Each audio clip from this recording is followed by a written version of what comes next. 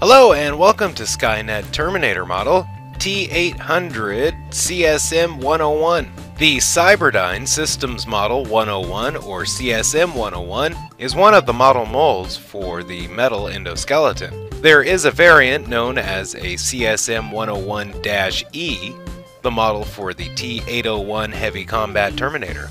Origins T2 Trilogy the Cyberdyne Systems Model 101 living tissue skin was based upon sector agent Dieter von Rossbach from the government files that predate 2001. As a government agent, numerous databases later possessed by Skynet were available to provide ample representations of many physical appearances. When it came to creating a human tissue model for the T-800 Terminators, Skynet used the stored information, along with the data from various other resources, to model the infiltrator faces on the closest physical match to contain the Terminator endoskeleton. The Model 101 has been used at least on the T-800 as well as numerous contemporary Terminators, created in the present by Serena Burns in her secret Terminator lab.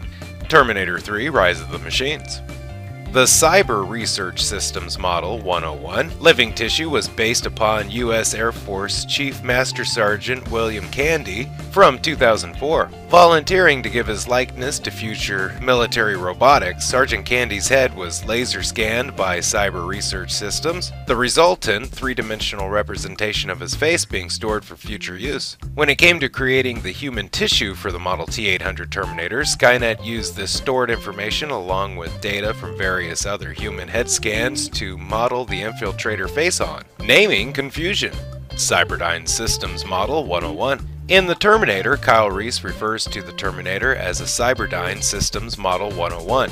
In Terminator 2 Judgment Day's teaser trailer, the same is displayed on the screen of a living tissue molding machine. In Terminator 2 Judgment Day, it is shown CSM 101 T800 version 2.4 inside the Terminator's HUD while he reboots. Background information. James Cameron states that the Model 101s all look like Arnold Schwarzenegger, with a Model 102 looking like someone else. This indicates that all T800s do not look like Arnold Schwarzenegger, and each model number is a different body, which would make sense if they all looked the same, it would be easy to spot. Hey, thank you for watching Skynet Terminator Model. Special thanks to Terminator Fandom for all information you heard today. Don't forget to like, share, and subscribe if you can. If you have, thank you, and have a nice day. Bye bye.